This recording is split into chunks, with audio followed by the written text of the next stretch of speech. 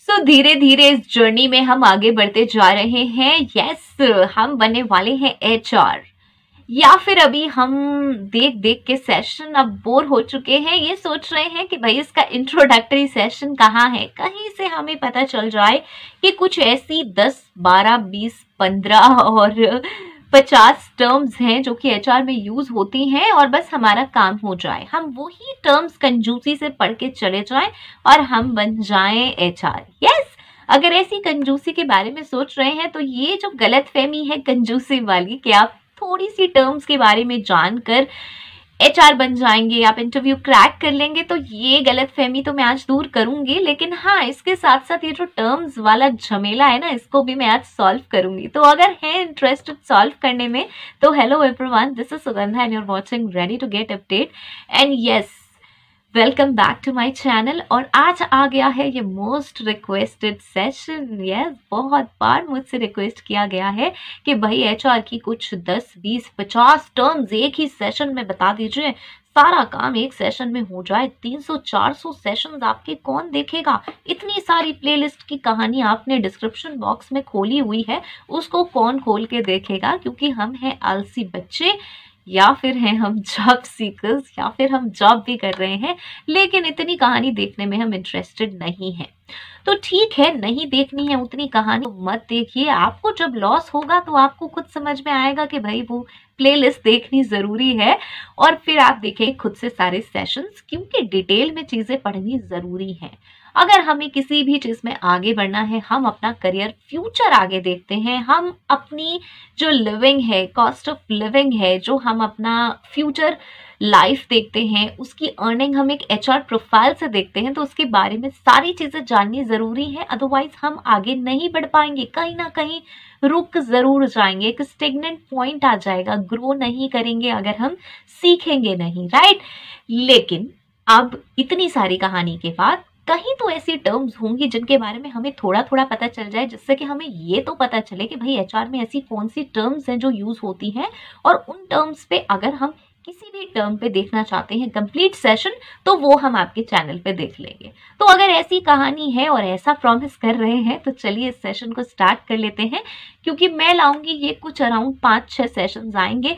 एक सेशन में तो सारी टर्म्स पूरी नहीं हो सकती। आज मैंने क्योंकि इतनी कहानी बताई है तो आज मैं बताऊँगी कुछ बिल्कुल बेसिक पाँच टर्म्स यस अगर आपने अभी अभी मुझे सुनना शुरू किया है, जो कि मुझसे एक दो महीने में बहुत सारे लोग जुड़े हैं तो अगर आपने मुझे अभी अभी सुनना शुरू करा है और एचआर में आपका इंटरेस्ट है या आप एक जॉब सीकर हैं, अभी कुछ नहीं पता है, आप अभी अभी सोच रहे हैं कि करियर बनाना भी है, नहीं है, आप बीबीए में हैं एम में हैं तो भी ये सारी टर्म्स अगर आप जानेंगे तो आपके लिए बहुत बेनिफिशियल होंगी। इन सभी टर्म्स पे प्रॉपर सेशंस बने हुए हैं चैनल पे। तो अगर आपको लगता है कि नहीं यार, एक टर्म को दो दो मिनट में समझने में मज़ा नहीं आया, हम तो और समझना चाहते हैं तो वो आप डिस्क्रिप्शन बॉक्स से देख सकते हैं। अगर आपको कोई सेशन नहीं मिलता है तो आप मुझसे पूछ भी सकते हैं, मैं बता दूँगी। चलिए तो स्टार्ट करते हैं बेसिक से। सबसे पहली कहानी तो भैया एच आर करती रहती हो, है क्या ये? वॉट इज़ एच आर या फिर हम कह सकते हैं एच आर एम क्या है? अब मुझे ये बता दो। तो चलिए, इसकी फुल फॉर्म से चलते हैं और ये है एच आर एच आर क्या है? ह्यूमन रिसोर्स या फिर एच आर एम क्या है? Human resource management human resource या फिर ह्यूमन रिसोर्स मैनेजमेंट ह्यूमन हम ह्यूमन बींग है रिसोर्स अभी बताऊँगी क्यों कह रहे हैं। मैनेजमेंट मैनेजमेंट क्या है? किसी भी चीज़ को मैनेज करना। अब हम किसे मैनेज कर रहे हैं? ह्यूमन बींग को मैनेज कर रहे हैं। क्यों कर रहे हैं? वो जो बीच वाली टर्म है, वो रिसोर्स है। आप रिसोर्स हैं। मैं किसी भी ह्यूमन बींग को मैनेज करने नहीं लग जाऊँगी। Right right? मेरे आसपास जितने भी ह्यूमन बींग हैं, अगर मैं हर किसी को मैनेज करने लग जाऊँगी तो वो क्या कहेंगे? अभी तू अपना काम देख, मुझे क्या कह रही है? Right right? अगर मैं हर ह्यूमन बींग को अपने आसपास मैनेज करने लग जाऊँ तो क्या वो मेरी बात सुनेगा? कोई भी नहीं सुनेगा। वो तभी सुनेगा जब वो मेरा रिसोर्स होगा। रिसोर्स क्या चीज़ है? रिसोर्स वो है जो मेरे किसी काम को फुलफिल कर रहा है। उसमें लगा, वो मेरा कोई काम कर रहा है तो वो मेरा रिसोर्स है। Right right? वो मेरा कोई काम फुलफिल कर रहा है। अब इसको समझते हैं थोड़ी सी और अपर लैंग्वेज में। ह्यूमन रिसोर्स मैनेजमेंट मतलब अब मैं एक कंपनी हूँ, मैं एक एम्प्लॉयर हूँ और मैंने किसी एम्प्लॉय को अपने किसी काम के लिए हायर करा। किसी पर्सन को मैं बुला कर लेकर आई कि भाई, मैं आपको सैलरी दे दूँगी पाँच हज़ार, दस हज़ार, पंद्रह हज़ार। मेरा ये वाला, आप काम कर दो। आप हैं ह्यूमन बींग आप बन गए मेरे रिसोर्स क्योंकि आप मेरा कोई काम करने वाले हैं। और मैं आपको मैनेज करूँगी मतलब मैं किसी से भी मैनेज करवाऊँगी, मैं आपको मैनेज करूँगी। मैनेज क्या करूँगी आपका? आप मेरे यहाँ आए हैं, आपके मैं कुछ डॉक्यूमेंट्स लूँगी। पहले तो मैं आपका इंटरव्यू लूँगी, फिर उसके बाद मैं आपके डॉक्यूमेंट्स लूँगी। आपको एक स्पेस दूँगी काम करने के लिए कि हाँ उस इंश्योर करूँगी कि वो जो स्पेस है, वहाँ पे कोई ऐसी चीज़ ना हो, वो गंदी ना हो, वो ख़राब ना हो डर्टी ना हो, वहाँ पे सारी फैसिलिटीज़ अवेलेबल हों, वहाँ पे लाइट्स प्रॉपर अवेलेबल हों, ऐसा ना हो कि करंट आ रहा हो। राइट ये मैं बिल्कुल बेसिक आपको समझा रही हूँ। ओके सो मैं आपको मैनेज कर रही हूँ, उसके बाद पूरा महीना हो जाएगा, मैं आपको सैलरी दूँगी। सैलरी के ऊपर आप कहेंगे, भाई, काम तो बहुत अच्छा हुआ मैम इस बार तो मैं आपको कुछ इंक्रीमेंट्स दे सकती हूँ, कुछ बोनस दे सकती हूँ। ओके ऑब्वियसली फ़र्स्ट मंथ नहीं मिलेंगे, उनके प्रोसीजर्स हैं, वो सब हम डिस्कस करेंगे। लेकिन ये जस्ट मैं एग्ज़ाम्पल के लिए बता रही हूँ कि ये है तो अब मैं आपको मैनेज कर रही हूँ, है ना? तो मुझे आपको मैनेज तो करना पड़ेगा, आपको एक प्रॉपर प्लेस देनी पड़ेगी, फिर आपकी जो सैलरी वैलरी है, इसका सारा स्ट्रक्चर उसके ऊपर फिर पी एफ़ एफ़ कटेगा टी डी एस कटेगा, वो सारा कुछ करना है। तो मेरा ह्यूमन रिसोर्स मैनेजमेंट ये हुआ बेसिकली एक एम्प्लॉयर ने किसी एम्प्लॉय को अपने यहाँ अपॉइंट किया राइट और उसके बाद क्योंकि वो हमारा काम कर रहा है वो हमारे लिए एक रिसोर्स है हमारा काम फुलफिल करने के लिए वो एक रिसोर्स है ओके सो so, अब मैं उसको मैनेज करूँगी। Okay so this is human resource management अब ऑब्वियसली मैं एक कंपनी हूँ मतलब मैं एक एम्प्लॉयर हूँ तो मैं खुद नहीं करूँगी। मैंने इसके लिए एक पर्सन को एम्प्लॉय किया वो है एच आर प्रोफेशनल मतलब ह्यूमन रिसोर्स प्रोफेशनल अब ह्यूमन रिसोर्स प्रोफेशनल को मैं कोई भी डेजिनेशन दे सकती हूँ। मैं उसे खाली एच आर बोल सकती हूँ मैं उसे एच आर एग्जीक्यूटिव बोल सकती हूँ मैं उसे एच आर जर्नलिस्ट बोल सकती हूँ मैं उसे एच आर असिस्टेंट बोल सकती हूँ राइट एच आर रिक्रूटर बोल सकती हूँ ओके ये सारा काम हो गया। मतलब जो मैंने एम्प्लॉय को हायर करा वो वाला काम भी मैं एक एचआर को ही दे सकती हूँ। तो वो ह्यूमन रिसोर्स प्रोफेशनल हो जाएगा। सारा काम जो एम्प्लॉय का है वो एक एचआर करेगा। ओके सो so, आप समझ गए एचआर कौन है? ह्यूमन रिसोर्स मैनेजमेंट क्या है? एचआर प्रोफेशनल कौन है? Right right? ये बिल्कुल सिंपल है। ये मैंने कहीं कोई डेफिनेशन नहीं जो एक्चुअली एचआर का काम है मैंने वो बताया है। आई होप सो ये आपको क्लियर हुआ होगा। नेक्स्ट आता है सेकंड जो कि है रिक्रूटमेंट अब मैंने आपको बताया कि मैंने किसी को एम्प्लॉय किया अपने यहाँ. अब एक एम्प्लॉय तो मैंने एम्प्लॉय कर लिया. अब क्या वो मेरा काम बढ़ रहा है? Right right? अब मेरा काम बढ़ रहा है. मैं ढूंढ नहीं पा रही हूँ लोगों को. भाई पे कैसे करूँ? कैसे करूँ? अभी के एचआर को मैंने अपॉइंट कर दिया. अब वो कह रहा है कि आपने मुझसे कहा कि पचास लोगों को हायर करो, सौ लोगों को हायर करो, पाँच सौ लोगों को हायर करो. आपको तो इतना काम बढ़ गया. अब कैसे करा जाए? कैसे एम्प्लॉयज़ को हायर किया जाए। तो ये है रिक्रूटमेंट रिक्रूट करना अपॉइंट करना अपने यहाँ। मेरे यहाँ सौ लोग, पचास लोगों की ज़रूरत है। ज़रूरत का मीनिंग वैकेंसी है ओके खाली है जगह मतलब मुझे चाहिए इतने सारे लोग अपने यहाँ। मेरी कंपनी में लोग चाहिए। तो मैं क्या कर रही हूँ? मैंने एचआर को इंस्ट्रक्शंस दिए कि भाई, मुझे 500 लोग चाहिए, मुझे 100 लोग चाहिए 50 लोग चाहिए। तो ये जो मुझे रिक्रूटमेंट करना है, जो वो जो वैकेंसी है, वो जो फिल करनी है पचास सौ लोगों की that is called as recruitment okay अपने यहाँ वैकेंसीज फिल करना filling of vacancies hiring of employees at right place right time okay ये है हमारा रिक्रूटमेंट बिल्कुल सिंपल तरीके से समझा रही हूँ कोई इंग्लिश की डेफिनेशन नहीं है कोई भी टफ चीज़ नहीं है। अब तो इसी के साथ आ जाएगी हमारी थर्ड टर्म अब आपको समझ में आने लगा होगा कि ये किस लेवल पे जा रहा है। रिक्रूटमेंट प्रोसेस अब ये अपने आप में एक चीज़ तो नहीं है ये इसके लिए लगेगा बहुत कुछ, बहुत सारे एफर्ट्स लगेंगे, बहुत सारी चीज़ें करनी पड़ेंगी। भाई, पचास लोग, सौ लोग, दो सौ लोग, पाँच सौ, हज़ार लोग हायर करने हैं, बहुत सारे लोग हमें हायर करने हैं तो अब इसके लिए तो बहुत सारा हमें काम करना पड़ेगा। पहले तो अब क्या करा आपने? आपने पहले कुछ पाँच दस लोग हायर कर लिए, किसी मैनेजर लेवल पोजिशन पर हायर कर लिए। अब वो कह रहे हैं, भाई, मैं तो खुद काम नहीं करूँगा, मेरे तो नीचे लोग चाहिए बहुत सारे जोड़ते जोड़ते हमने पाँच पाँच दस दस लोग तो किस तरह से हायर कर लिए? अब क्योंकि वो कह रहे हैं, मेरे अंदर मुझे दो दो लोग नीचे भी चाहिए। तो अब वो दो दो लोग नीचे चाहिए तो वो कह रहा है, मेरे नीचे वैकेंसी है। तो अब क्या हुआ? Identification of job vacancy recruitment process के कुछ प्रोसेस हैं, कुछ पार्ट्स हैं, वो क्या हुए? वो हुए हमारे आइडेंटिफिकेशन ऑफ़ जॉब वैकेंसी सबसे पहला। सबसे पहला न्यू वैकेंसी अराइज हुई है।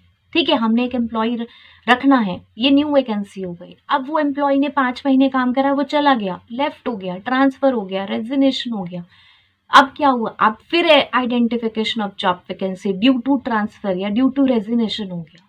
ठीक है? सबसे पहला पॉइंट ही चल रहा है रिक्रूटमेंट प्रोसेस का। आइडेंटिफिकेशन ऑफ़ जॉब वैकेंसी ठीक है, मुझे पता चल गई वैकेंसी लेकिन अब मेरे पास ये प्रॉब्लम है कि आपने मुझे डेजिनेशन तो बता दी, अब मुझे ये नहीं समझ में आ रहा कि उस आदमी में क्या क्वालिटीज़ हो। तो आप मुझे कुछ बताओगे ना? मतलब एचआर पूछ रहा है मैनेजर से या कंपनी से कि भाई मुझे ये तो बताओ मैं किस टाइप का आदमी हायर करूँ?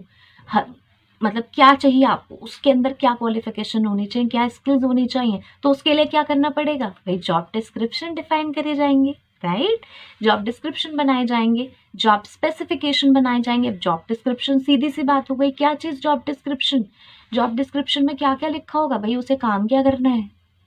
क्या होगा डिजायर्ड कैंडिडेट प्रोफ़ाइल उसमें की स्किल्स क्या होंगी? ये सारी चीज़ें आप मुझे लिख के खुद से दोगे ना?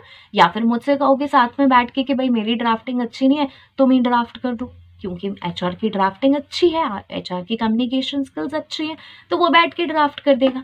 लेकिन आप मुझे बताओगे ना तो ये हो गया मेरा सेकेंड प्रोसेस ओके ये है हमारा रिक्रूटमेंट प्रोसेस अब उसके बाद मुझे ढूंढना है।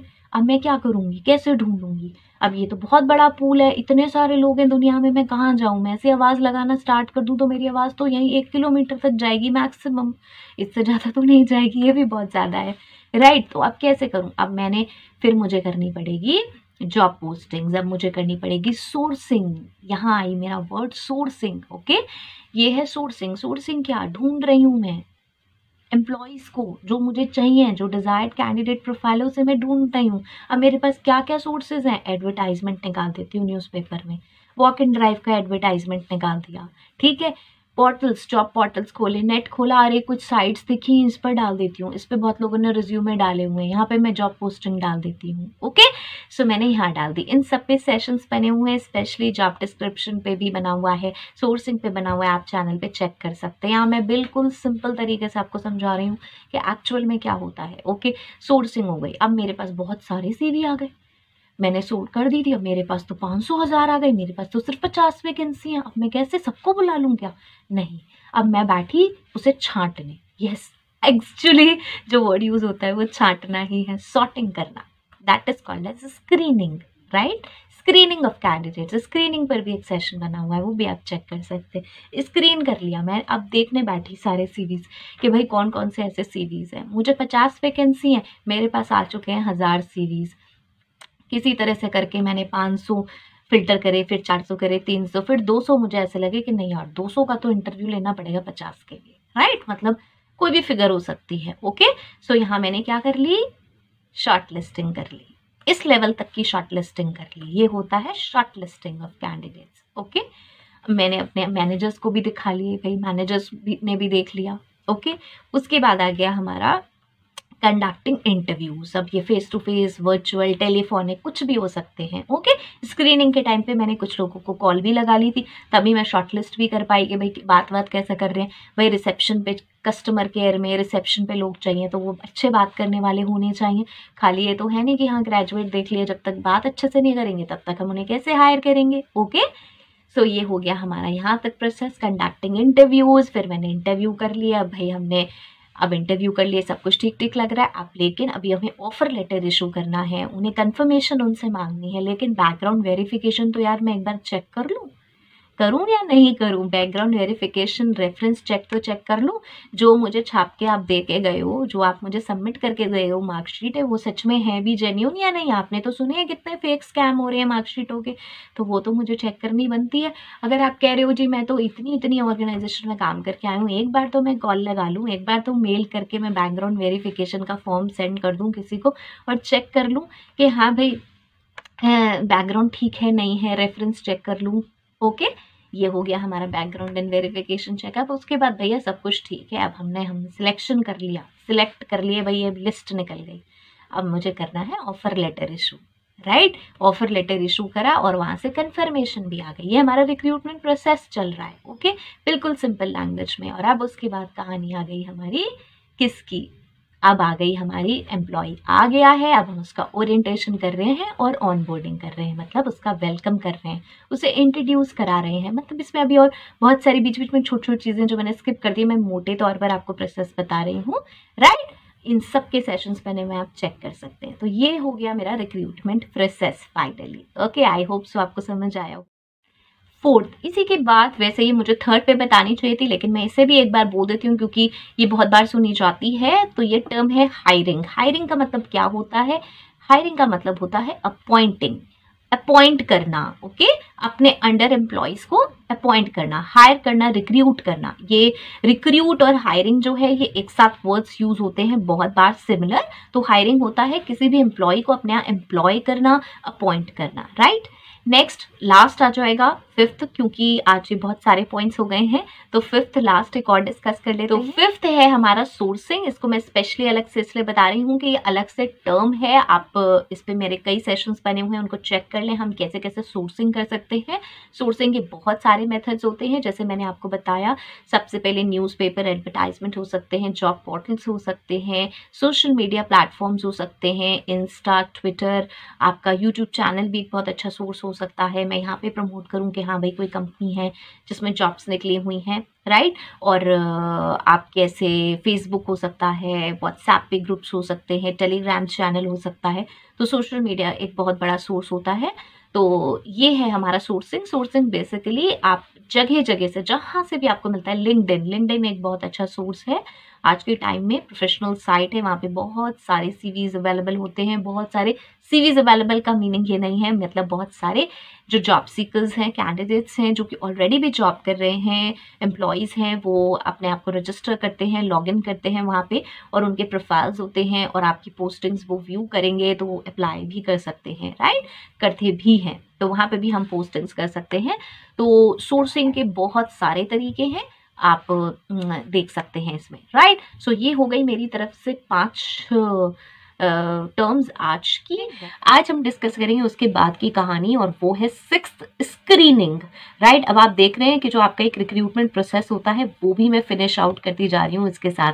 तो आज है स्क्रीनिंग स्क्रीनिंग पे मैं एक ऑलरेडी बहुत ही बड़ा सेशन बना चुकी हूँ, जो कि आप देख सकते हैं चैनल पे। राइट रिक्रूटर के एचआर रिक्रूटर के आपको प्लेलिस्ट में मिल जाएगा, नहीं मिलता है तो बताएँ। ओके लेकिन अब यहाँ पे मैं बता देती हूँ आपको, बिल्कुल सीधे तरीके से वही स्क्रीनिंग क्या होती है। हम सोर्सिंग तक आ गए थे, हमने बहुत सारे ना सीवीज वगैरह ढूंढ के अपने पास रख लिए थे। अब वो ना बहुत ही बड़ा हमारे पास स्टॉक हो गया है। मतलब बहुत सारा बल्क में हमारे पास पड़े हुए सीवीज रखे हुए हैं मतलब पाँच सौ हज़ार। ओके? मतलब अगर आप नॉर्मल किसी स्मॉल ऑर्गेनाइजेशन के लिए कर रहे हैं तो चलिए पचास सौ, दो सौ होंगे, ओके? तो इतना सारा बल्क हो गया है, अब उसे हमें छांटना है। बेसिकली स्क्रीनिंग होती है हमारी, छांटना, देखना उसे कि इसमें से कौन सा सूटेबल कैंडिडेट हो सकता है। मतलब अभी बहुत सारे आगे स्टेजेस आएँगे जिसमें हमें फ़िल्टर करना होगा कैंडिडेट को, लेकिन एक बार सीवी से रेज्यूम से चेक तो कर ले कि कौन सा कैंडिडेट ऐसा है जो हमारे स्किल्स एंड ऑल उसके आसपास है ओके सो अब हम क्या करेंगे? नॉर्मली जो कहा जाता है कि स्क्रीनिंग के टाइम जो एक एचआर है वो सिक्स सेकेंड या टेन सेकेंड देता है। रेज्यूमे को। ना ये जो मिथ है ना, जो हर किसी ने फैला रखा है, हर कोई कहते हैं कि बस इतने सेकंड दिए जाते हैं तो मैं आपका ये मिथ क्लियर कर दूँ कि ऐसा कुछ भी नहीं है। और ये हर जगह एप्लीकेबल नहीं है। सबसे बड़ी चीज़, अगर आप लार्ज ऑर्गेनाइजेशन की बात करेंगे, जहाँ डेली हज़ारों सीवीज आते हैं। वहाँ मैं कह सकती हूँ कि हाँ वहाँ क्योंकि हज़ारों सीवीज आ रहे हैं, एक ग्रेजुएशन की पोस्ट निकली और सारे ग्रेजुएशन के ही कैंडिडेट्स अप्लाई कर रहे हैं और सेम ही क्वालिफिकेशन है ऑलमोस्ट सेम ही सारी चीज़ें तो वहाँ पर क्या होता है? वहाँ पे हमें बहुत जल्दी जल्दी फ़िल्टर करना होता है। हमें बस जल्दी से देखना होता है कि हाँ कुछ चीज़ें हैं जो इसमें अगर एक्स्ट्रा हैं सर्टिफिकेशन हैं इंटर्नशिप्स हैं तो हाँ चलो इसको फ़िल्टर कर लिया औरों को हटा दिया। लेकिन अगर मिड से लाइक मिड साइज़ ऑर्गेनाइजेशन है। स्मॉल साइज़ ऑर्गेनाइजेशन है। तो स्मॉल साइज़ ऑर्गेनाइजेशन में पचास, सौ, दो सौ, हज़ार लोग ही बस काम कर रहे हैं राइट तो वहाँ क्या है? वहाँ मेरे पास टाइम है ये देखने का कि मेरे यहाँ जो एक भी एम्प्लॉय आ रहा है, मैं उसको बहुत अच्छे से फ़िल्टर करूँ। ऐसे नहीं है कि हाँ भाई, मेरे पास टाइम नहीं है। मेरे पास सीरीज़ ही आए, कितने पचास, सौ सीरीज़ आए, उसको भी मैं सिर्फ़ छः सेकंड में करके मैंने ख़त्म करा। तो फिर मैंने काम ही क्या करा? एचआर के पास तो वहाँ इतना काम ही नहीं है ना तो आपको सीवी बहुत अच्छे से देखना होगा। तो हमें ये नहीं सोचना है कि भाई, मैं तो सिर्फ़ एक लार्ज ऑर्गेनाइजेशन में जाऊँगी तो मुझे जो छः सात सेकंड देने होंगे तो बस मैं उसे फ़िल्टर कर लूँगी। नहीं, आपको ये ध्यान रखना है कि आपको सीवी में क्या देखना है। चाहे आप स्मॉल साइज़ में है, चाहे मिड साइज़ में है, चाहे हम लार्ज स्केल ऑर्गेनाइजेशन में जाते हैं ओके हमें एज एन एच सोचना है यहाँ पे। यहाँ पे हमें एज ए कैंडिडेट नहीं सोचना। जब हमसे कहा जाता है कि भाई आप अपना ऐसा बनाओ, दो पेज का बनाओ सिंगल पेजर बनाओ बिकॉज़ एचआर के पास टाइम नहीं होता तो वो क्या करता है कि वो बस इतना सा देख के छोड़ देता है। ये हर जगह एप्लीकेबल नहीं है और एचआर बहुत ज़्यादा अच्छे से सीवीज को देखते हैं। यस नहीं देखेंगे तो ऐसे कैसे कैंडिडेट को हम शॉर्टलिस्ट कर सकते हैं? कर ही नहीं सकते अपने लेवल पे ओके और जहाँ पर एक रिक्रूटमेंट डिपार्टमेंट में कई सारे रिक्रूटर्स रखे हुए हैं तो उनको इस पर्पज के लिए रखा है कि वो शॉर्टलिस्टिंग अच्छे से सारी चीज़ें देख के करें ओके सो आपको स्क्रीनिंग के टाइम में क्या क्या चीज़ें देखनी है, जो कि हमारी, मैंने जो सेपरेट सेशन बनाया हुआ है, इसका उसमें सारी चीज़ें दी हुई हैं, वो आप प्लीज़ उसको ज़रूर देखें बिकॉज़ वहाँ मैंने डिटेल में डिस्कस किया, यहाँ मैं बता देती हूँ आपको, यहाँ पे आपका फोकस होना चाहिए कंप्लीटली आपको जेडी पता होना चाहिए ओके स्क्रीनिंग करते वक्त हमारे ध्यान में पूरा कंप्लीट जेडी होना चाहिए, जिसमें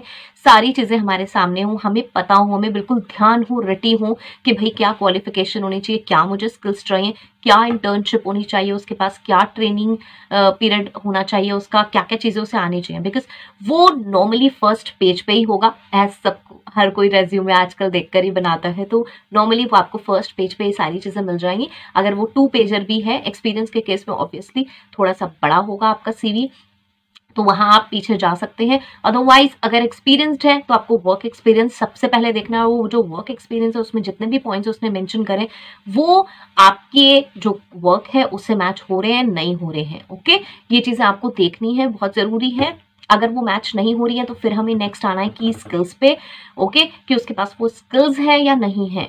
नहीं तो आप कैसे सिलेक्ट करेंगे? और फिर क्वालिफिकेशन पे भी कि हो सकता है कि उसने जो क्वालिफिकेशन ली, उसके बेस पे अपनी जॉब ना करी हो, लेकिन अब वो उसमें परस्यू करना चाहता हो तो ये दो तीन चार फैक्टर्स आपको देखने ज़रूरी हैं स्क्रीनिंग के टाइम में राइट ये हो गई हमारी स्क्रीनिंग अब जब हम स्क्रीनिंग कर रहे हैं तो क्या होगा कि यस नेक्स्ट चीज़ जो बहुत इंपॉर्टेंट आएगी वो आएगी कि खाली हम एक रेज्यूमे देखकर स्क्रीनिंग नहीं कर सकते। हमें चाहिए कि यार कैंडिडेट ठीक ठाक लग रहे हैं यार कम्युनिकेशन स्किल्स वगैरह अच्छी हैं, हम किसी कस्टमर केयर प्रोफ़ाइल के लिए बात कर रहे हैं अगर तो अच्छे हैं। यार, एक बार मैं कॉल लगा के देख लूँ तो पता चल जाएगा कि ये कैसे बात करता है या बात करती है।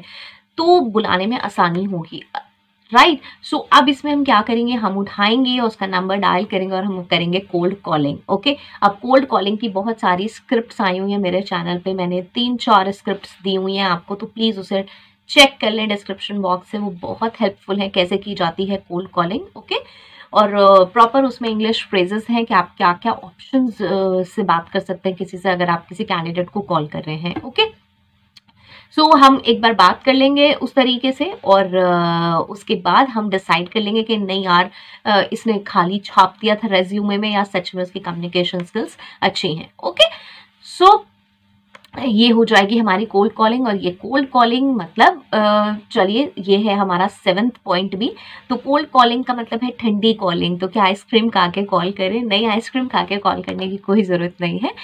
कोल्ड कॉलिंग का मीनिंग होता है ठंडी मतलब इसका ठंड से क्या मीनिंग है? क्यों इसे कोल्ड बोला जा रहा है? तो मैं ये वैसे कहीं रिटर्न नहीं है, लेकिन मैं आपको इसको रेफर करना चाहूँगी कि किस तरीके से इसे कोल्ड कॉलिंग कहा जा रहा है।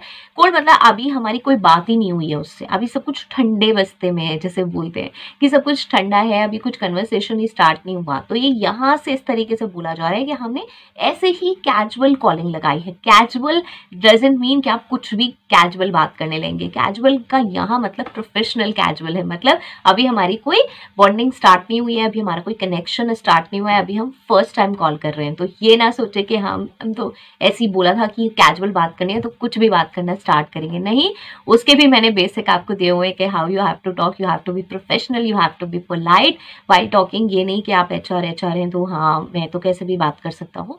ये वाला वे नहीं होना चाहिए ओके सो so, ये हो गई हमारी कोल्ड कॉलिंग और सेवेंथ पॉइंट ओके अब नेक्स्ट आ जाता है, इसी में डिस्कस कर लेते हैं। सो एट्थ आ जाएगा नेक्स्ट ओरिएंटेशन ये भी बहुत ज़्यादा मुझसे पूछा गया है, इसका वैसे एक प्रॉपर सेशन बना हुआ है, वहाँ से आप चेक कर सकते हैं। ये मैं बता देती हूँ एम्प्लॉय आ गया है हमारे यहाँ, अब हमें उसे वेलकम करना है राइट सो so, वेलकम कैसे करेंगे? पहले कुछ चीज़ें हैं जो कि हमें उस उन्हें देनी होंगी ओके वो सारी चीज़ें हमें उन्हें हैंड ओवर करनी होंगी मतलब ऑब्वियसली उसे प्रॉपर प्लेस भी दिया जाएगा प्रॉपर सिस्टम में लोकेशन दिया जाएगा ओके ये सारी चीज़ें हमारी डे वन होंगी और ये इट कुड भी डे टू या डे थ्री मतलब दो तीन दिन तक हो सकता है। किसी जगह आप कह देते हैं कि एक वीक का है एक वीक का होता नहीं है बिकॉज़ उसके बाद वो ऑन बोर्डिंग होती है जिसको हम इसी के बाद डिस्कस करेंगे ओके सो ओरिएंटेशन एक शॉर्ट टर्म एक्टिविटी है just to introduce and welcome employ जिससे कि वो कंफर्टेबल फील करें यहाँ पे। अब ये एक आप सेमिनार हॉल में कॉन्फ्रेंस में या आप इंटर डिपार्टमेंटल भी करा सकते हैं।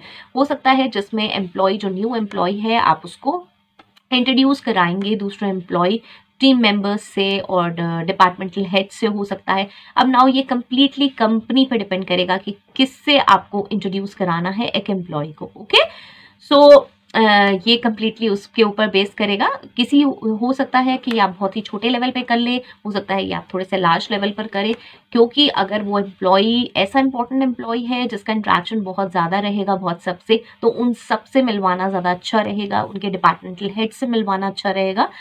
राइट और उसमें आप ऑब्वियसली एम्प्लॉय अपने बारे में बता देगा और और भी लोग इंट्रोड्यूस कर देंगे अपने आप को ओके और फिर कुछ प्रोसीजरल चीज़ें हैं जो कि डॉक्यूमेंटेशन एंड फॉर्म फिलिंग वगैरह है, वो हो जाएगी ओके और हमने उसे एलोकेट कर ही दिया है कुछ चीज़ें जो हमें आईटी से करनी है आई कार्ड इशू करना है लैपटॉप इशू करना है, और भी ईमेल आईडीज इशू होनी है, ये सारी चीज़ें कंपनी बेस्ड होंगी जो जो चीज़ें होती हैं। बहुत सारी, जैसे स्मॉल ऑर्गेनाइजेशन से वहाँ ऐसा कुछ नहीं है कि हाँ भाई सिस्टम एलोकेट पहले ही दिन होना ही है, या लैपटॉप एलोकेट होना ही होना है। ठीक है, नहीं होना है तो वो आपका पॉइंट है राइट ये सारी चीज़ें हो जाएँगी। उसके बाद होता है हमारा, इसी के बाद आ जाएगा हमारा एक नाइन्थ और वो है हमारा onboarding now onboarding जो है ऑन बोर्डिंग का क्या मीनिंग है? ये एक्चुअल में इंट्रोडक्शन है। ऑब्वियसली जो हमने वेलकम किया, वो हमारे ऑन बोर्डिंग का ही पार्ट होता है ओरिएंटेशन जो कि सिर्फ़ एक इंट्रोडक्शन ही है कि हाँ भाई मैंने इंट्रोड्यूस करा दिया। हमारा ऑन बोर्डिंग जो है वो एक लार्जर लेवल पर है, जिसमें हम फोकस करते हैं कि कंपनी में जो एम्प्लॉय आ रहा है न्यू एम्प्लॉय वो वेल सेटल हो जाए। खाली उसका हायरिंग या उसका एक दिन का वेलकम इंपॉर्टेंट नहीं है।